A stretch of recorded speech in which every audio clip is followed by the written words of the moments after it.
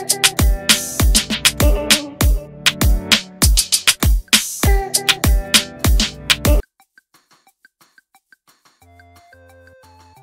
ื่นมื่นเศรษฐาจับข่าวคุยชัดชาติเผยเคยยุให้สมัครนายก แต่เจ้าตัวขอทำหน้าที่ผู้ว่าเปิดตึกไทยคู่ฟ้าต้อนรับเศรษฐาจับมือชัดชาติหารือข้อราชการยอมรับเคยบอกให้สมัครเป็นนายกรัฐมนตรี แต่เจ้าตัวขอทำหน้าที่ผู้ว่าราชการจังหวัดกรุงเทพมหานคร เมื่อเวลา 13 นาฬิกาวันที่ 18 กันยายน 2566 ที่ห้องสีม่วงตึกไทยคู่ฟ้าทำเนียบรัฐบาลนายเศรษฐาทวีสินนายกรัฐมนตรีและรัฐมนตรีว่าการกระทรวงคลังให้การต้อนรับนายชัดชาติสิทธิพันธ์ผู้ว่าราชการจังหวัดกรุงเทพมหานคร ที่มาพบและหารือปัญหาเร่งด่วนของกรุงเทพมหานครและแนวทางการดำเนินการ โดยนายชัดชาติเดินทางมารอพบตั้งแต่ช่วงเวลา 12 นาฬิกา 30 นาที นายกรัฐมนตรีเปิดเผยว่ารู้จักกันมานานและเป็นคนแรกๆที่คิดถึงเมื่อได้เป็นนายกรัฐมนตรีก่อนหน้าเคยบอกให้นายชัดชาติลงสมัครเป็นนายกรัฐมนตรีเลยไม่ต้องลงสมัครผู้ว่าราชการจังหวัดกรุงเทพมหานคร แต่นายชัดชาติขอสมัครเป็นผู้ว่าราชการจังหวัดกรุงเทพมหานครและทำงานร่วมกันดีกว่า ซึ่งนายชัดชาติเป็นคนน่ารักตนยินดีและสนับสนุนน้องชายที่ทำงานในภาคส่วนกทม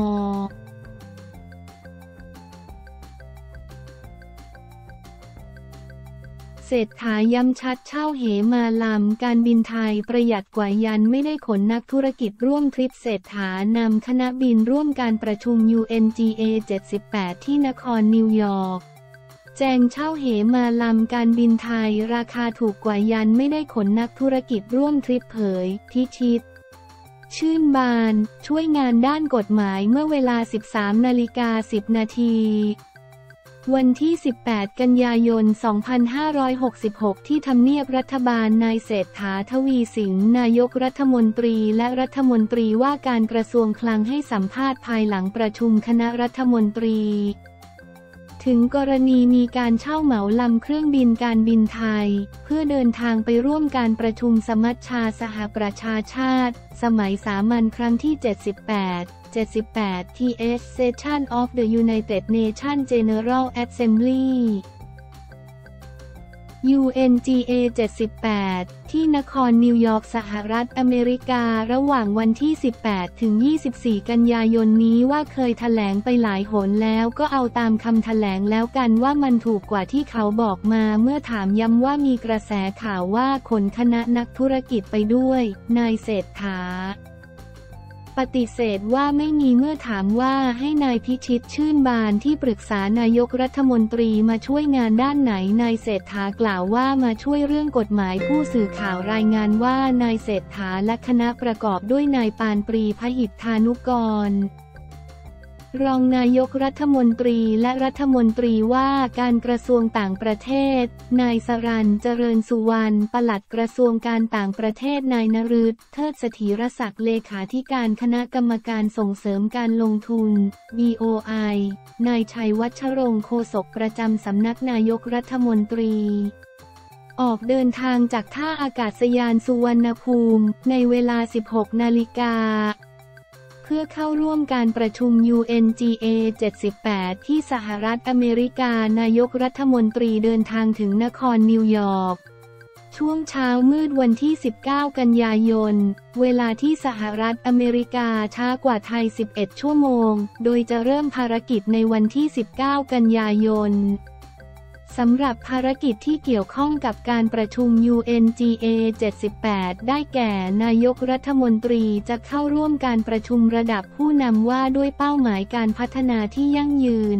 SDG Summit และร่วมกล่าวถ้อยแถลงในช่วง Leader Dialogue 6 Mobilizing Finance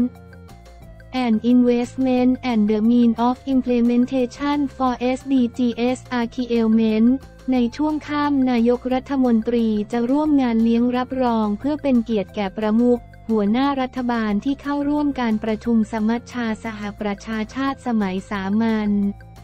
ครั้งที่ 78 และคู่สมรส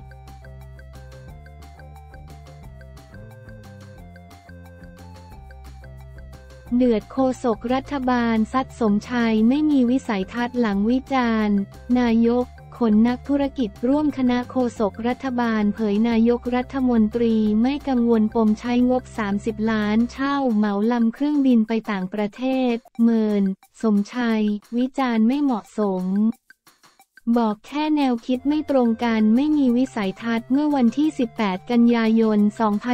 2566 ที่ทำเนียบรัฐบาล นายชัยวัชรงโฆษกประจำสำนักนายกรัฐมนตรีแถลงภายหลังการประชุมคณะรัฐมนตรี คณะรัฐมนตรี ถึงกรณีมีการวิพากษ์วิจารณ์การใช้งบประมาณ 30 ล้านบาทในการเดินทางไปร่วมประชุมสมัชชาสหประชาชาติ ที่นิวยอร์กสหรัฐอเมริกาของนายเศรษฐาทวีสินนายกรัฐมนตรีและรัฐมนตรีว่าการกระทรวงคลังโดยเช่าเครื่องบินเช่าเหมาลำที่มีนักธุรกิจร่วมเดินทางไปด้วยว่า ไม่กังวลนายกรัฐมนตรี เป็นนักธุรกิจมาก่อน นายกรัฐมนตรีเน้นมากในเรื่องการใช้งบประมาณของประเทศ ของประชาชนต้องสมเหตุสมผล โดยมีทางเลือกที่เสนอมาและแพงกว่านี้ ซึ่งนายกรัฐมนตรีเลือกตัวเลือกที่สมเหตุสมผลที่สุด พอสมควรเหมาะสม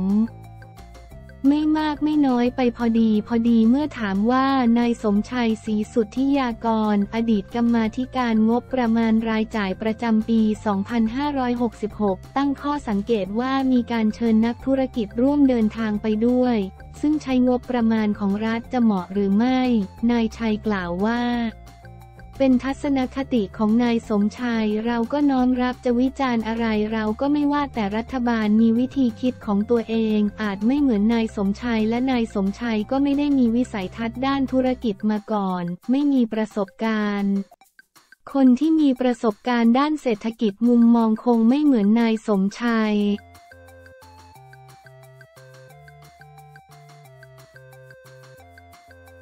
ทักษิณยังติดค้างคดี 112 กรณีสัมภาษณ์สื่อที่เกาหลีใต้ทักษิณยังติดค้างอีกหนึ่งคดีตำรวจปอทรออายการสูงสุดประสานร่วมแจ้งข้อกล่าวหาคดี 112 กรณีสัมภาษณ์สื่อที่เกาหลีใต้วันที่ 18 กันยายน 2566 รายงานข่าวแจ้งว่านายทักษิณชินวัตร อดีตนายกรัฐมนตรียังไม่ได้ถูกแจ้งข้อกล่าวหาอีกหนึ่งคดี ซึ่งคดีนี้ทางอายการสูงสุด อสส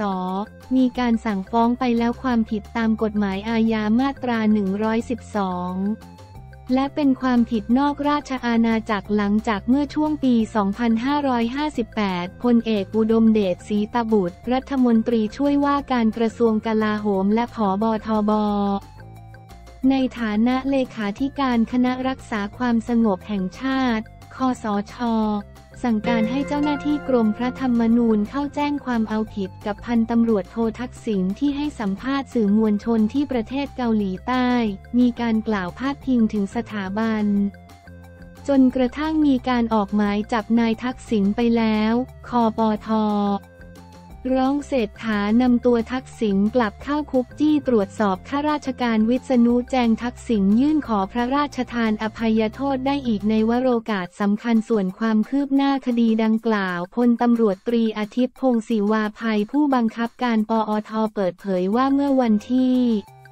วันที่ 23 สิงหาคมที่ผ่านมาพนักงานสอบสวนบกปอท แจ้งความคืบหน้าไปยังอายการสูงสุดให้ทราบแล้ว หลังจากนายทักษิณกลับถึงไทยเมื่อวันที่ 22 สิงหาคมที่ผ่านมาซึ่งเป็นขั้นตอนตามกฎหมายทักษิณชินวัตรอดีตนายกรัฐมนตรี หลังจากนี้อายการสูงสุดจะประสานกลับมายังพนักงานสอบสวนบกปอทเพื่อไปแจ้งข้อกล่าวหาร่วมกันระหว่างอายการและพนักงานสอบสวนเพื่อให้ผู้ต้องหาทราบ หลังจากนั้นก็จะดำเนินการตามกฎหมาย ขณะนี้กำลังรอหนังสือนัดหมายจากอายการสูงสุดอยู่